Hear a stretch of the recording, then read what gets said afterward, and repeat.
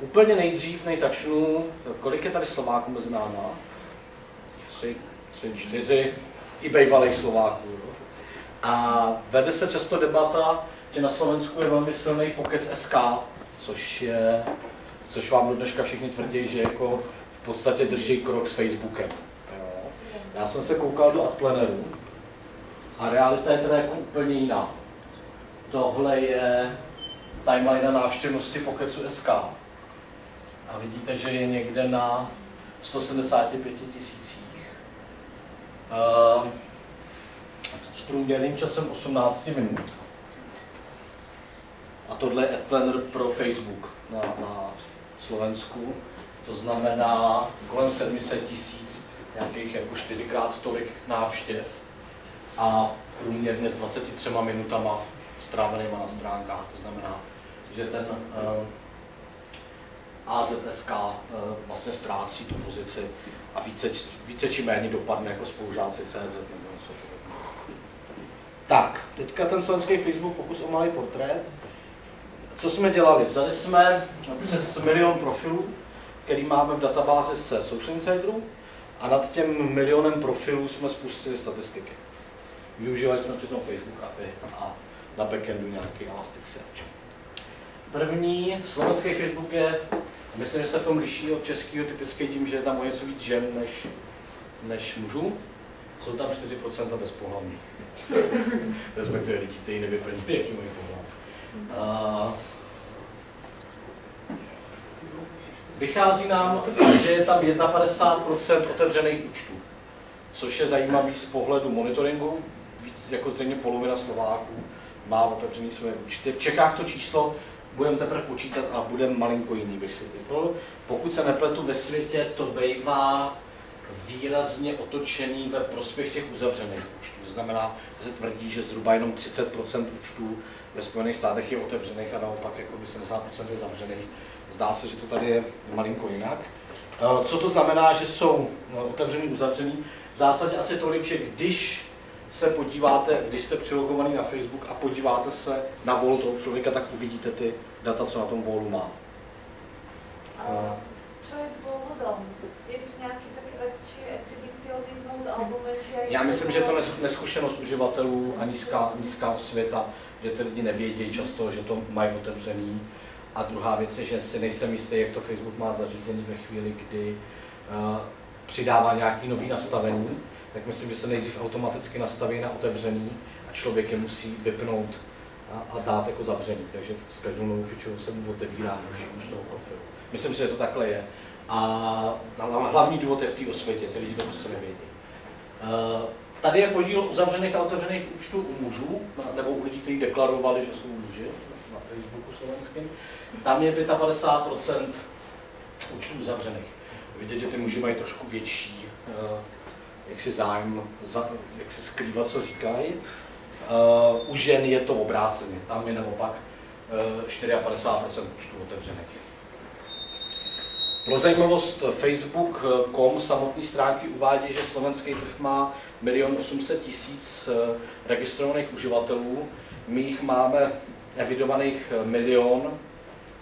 Pravda podle mě je někde zhruba mezi tím, že skutečný číslo bude přibližně milion a půl protože musí brát do úvahy, že tam budou všichni, co si udělali fejkový účet, eh, lidi, co mají účet jenom, ale nepoužívají ho a, a, a tak dále. Jo.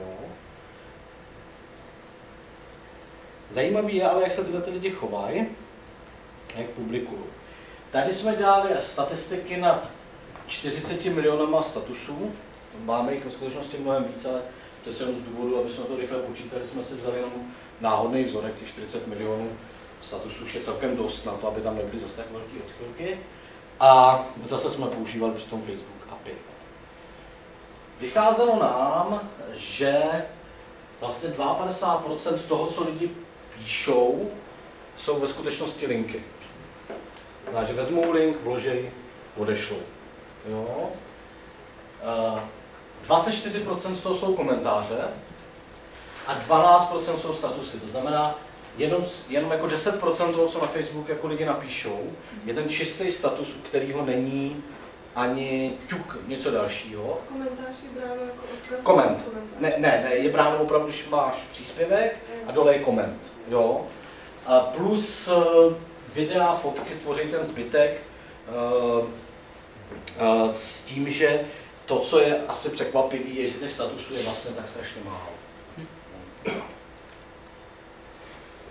Tohle je graf, který... Můžu mít otázku? Ano. Počítali jste tam i třeba příspěvky jakože aplikací?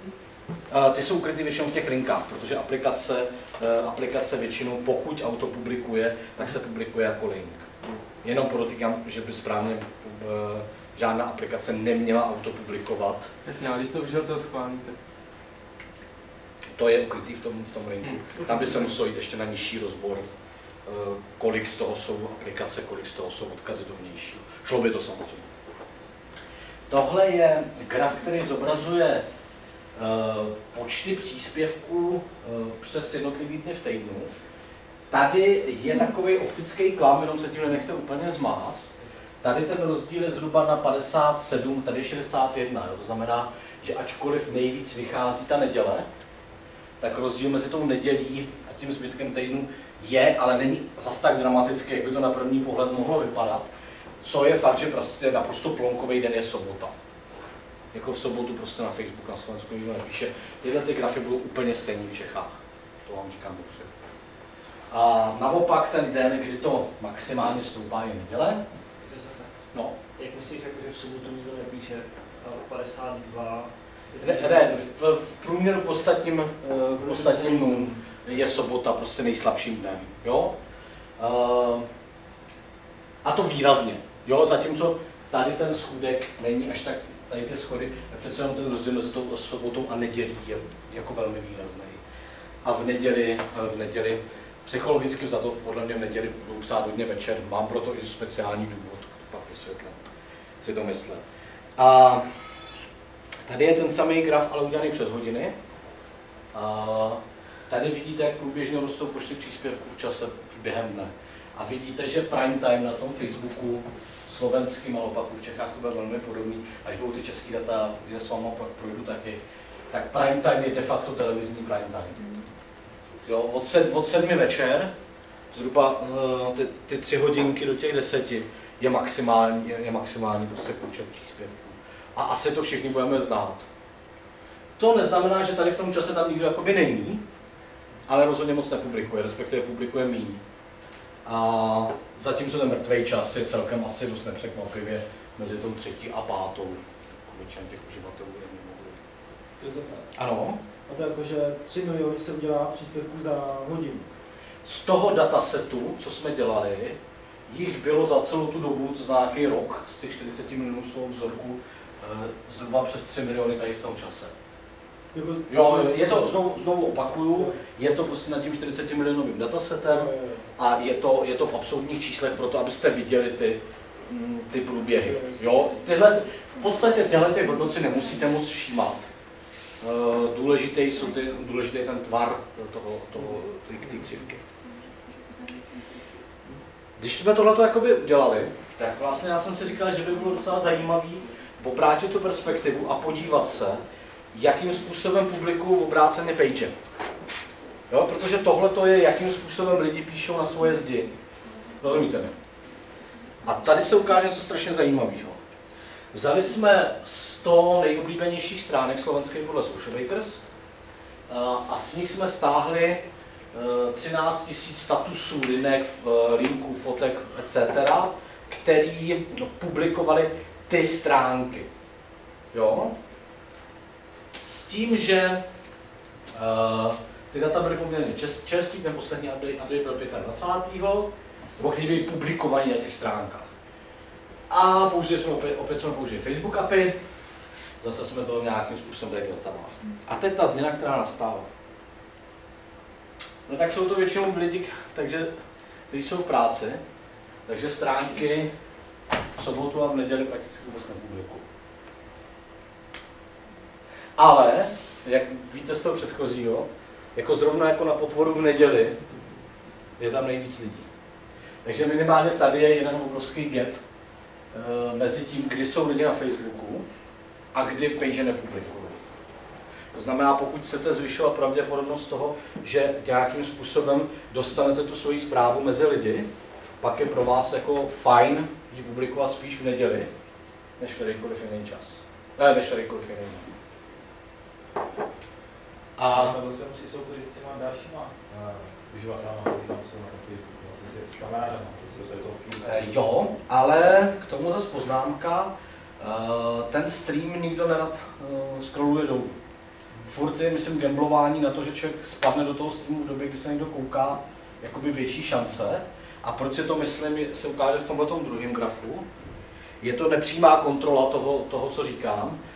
Tady jsou ty posty těch eh, stránek a tady eh, tyhle ty sloupečky jsou počty příspěvků publikovaný v ten den, který měli víc jak 50 lajků.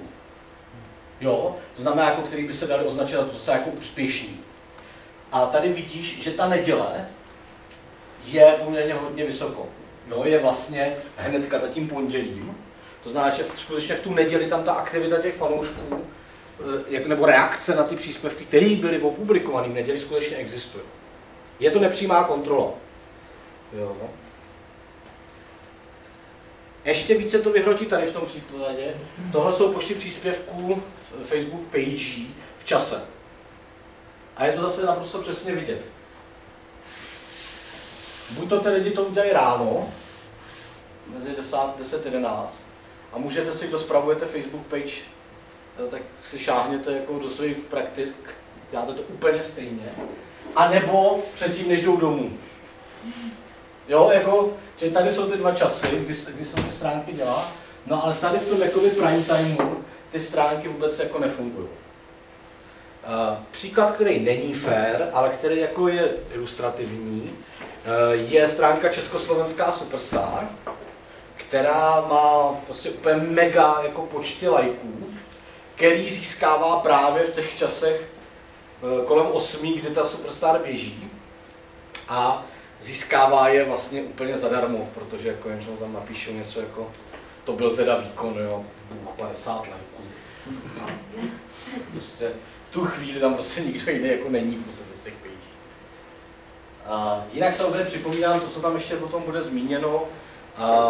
Problém je podle, myslím, Pew Research a nevím koho dalšího, že a, když máte stream na wallu, jakoby na Facebooku u sebe, tak v něm vidíte eh, jenom některé příspěvky některých stránek. Ten algoritmus, podle kterého to ten Facebook vybírá, jako není nikomu známý. Samozřejmě, pokud byste to věděli, tak můžeme tuhle firmu zavřít a prodávat znovu tohoto algoritmu. A eh, odhaduje se, že ve skutečnosti vidí tenhle ten obsah 3,5 až 9,5% lidí. To znamená vlastně v průměru jenom 5% fanoušků vidí skutečně ty zprávy z té page v tom streamu. Tohle je strašně jako zajímavý číslo, kterým se opravdu jako moc se s ním neoperuje. A může to být i pro vás argument, když někdo říká, že Twitter, eh, to bude, že Twitter je jako na nic, protože tam mají desetkrát méně fanoušků, tak on jako reálný impact může být úplně stejný. Tak promiň. Já se chci zeptat, máme nějaký odhad, eh, jak tím zamíchají teď ty změny na Facebooku?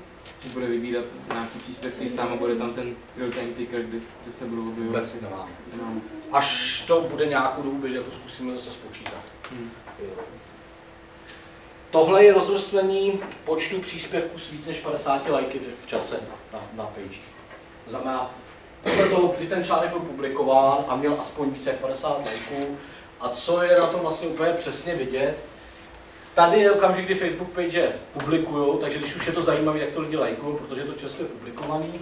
Tady je ten druhý pík a tady jako zdaleka nejvíce ta 8 večer, protože ve 8 večer jsou lidi na těch stránkách. Jak je to s průměrným obsahem? Eh, 41% jsou linky. A zase jako ten link může být komentář, whatever, ale je to nějaký odkaz, ke kterému se když tak vztahuje popiska.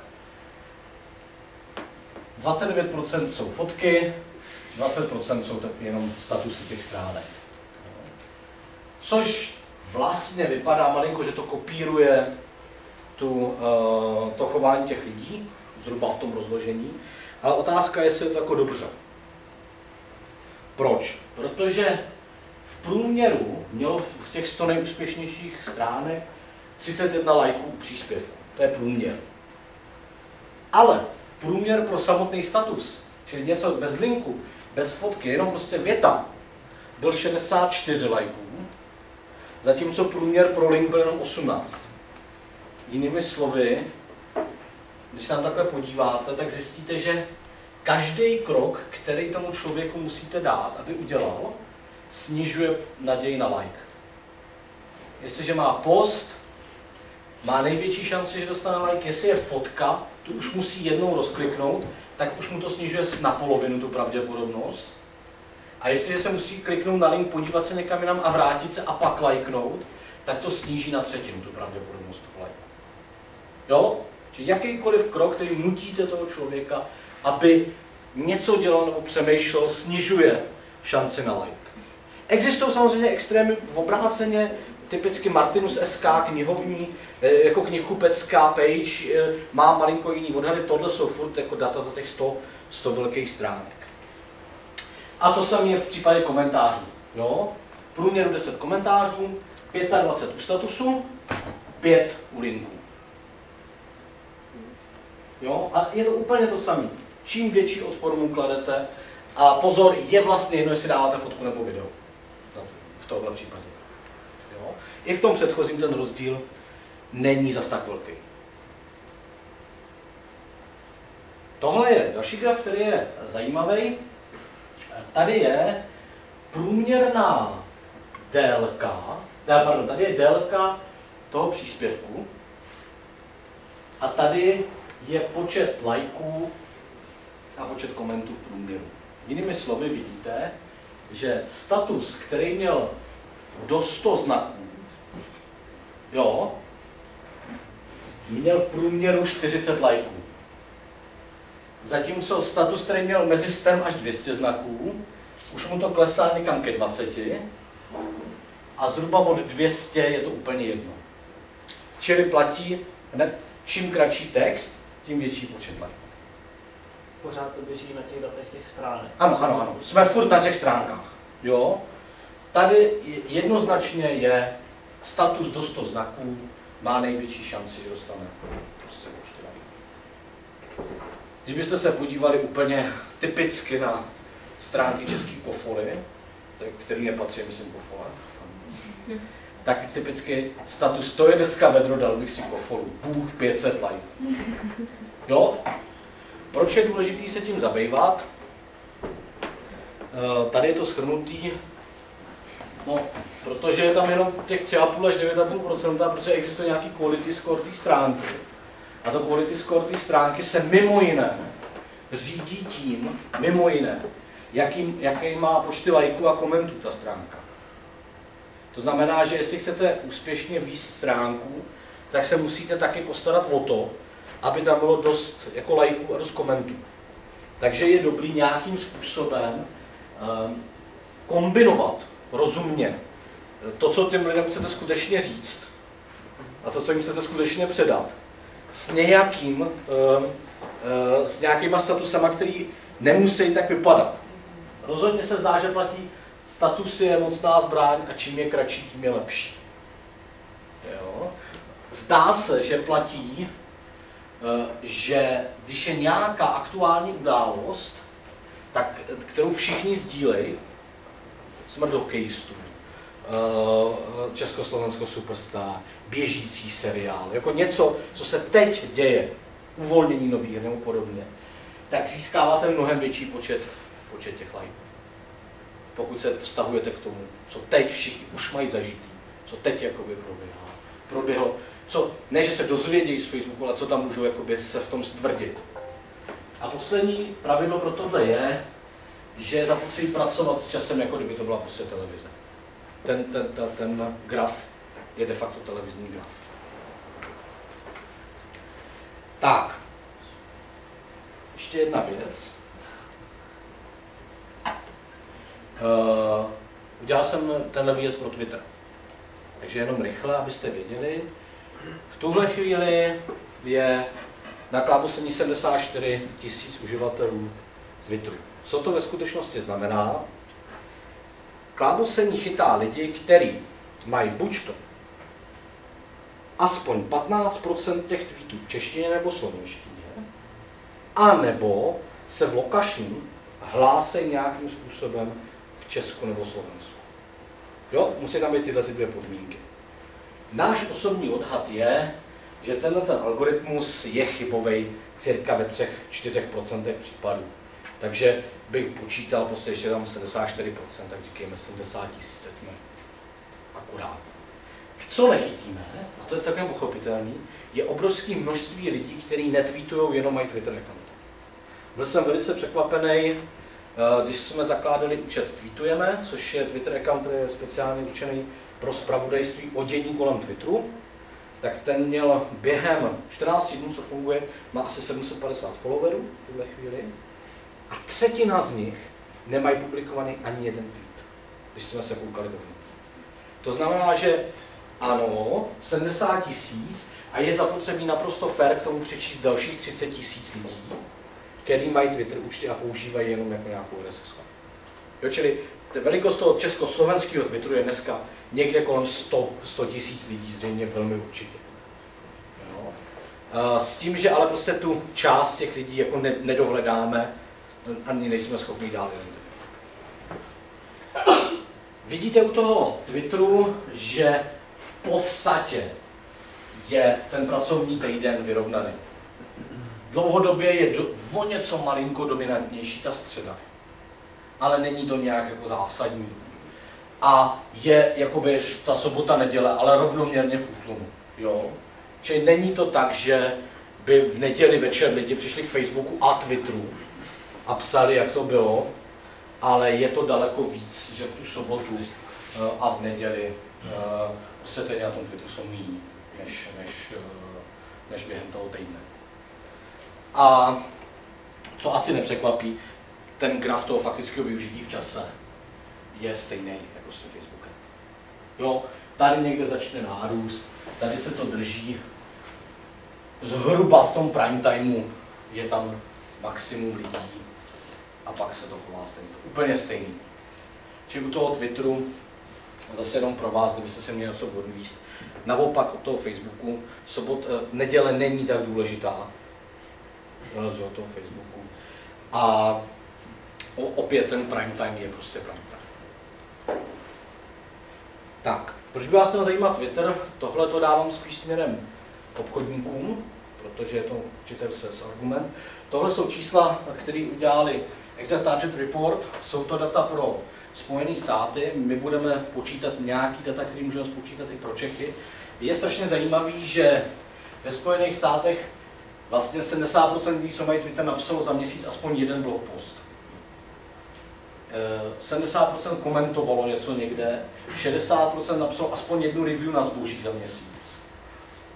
Komentují zprávy, píší články, publikují videa a polovina z nich aspoň jednou přispěla na Wikipedii. To v nějaký korekci nebo v nějakým uh, to. Čili z toho reportu jednoznačně vyplývalo pro ty Spojené státy, že uživatelé Twitteru jsou aktivnější, jsou to jako aktivnější část internetu, než uživatelé Facebooku. Čili odpověď je, ano, na Twitteru je 100 000 lidí v Čechách v tuhle chvíli, ale pozor, ve skutečnosti ten impact je mnohem větší, protože jsou to lidi, kteří jsou obecně daleko aktivnější v té komunitě. To neznamená, že samozřejmě, já si myslím, že třeba pro Mountfield eh, nemusí být Twitter tak zajímavý jako diskuzní servery eh, zahrádkářů, ale rozhodně to znamená, že ty lidi, kteří tam jsou, pokud už na svoji stranu nějakým způsobem získáte, tak velmi pravděpodobně vám budou pomáhat dostat tu informaci i do jiných uh, publikačních možností, než je jenom ten Twitter. A vynechávám samozřejmě nepřímý efekt, že celá řada lidí má propojený Twitter na Facebook. Výrazně častěji než Facebook na Twitter. Tak. Eh, chcete se když tak něco k tomuhle zeptat?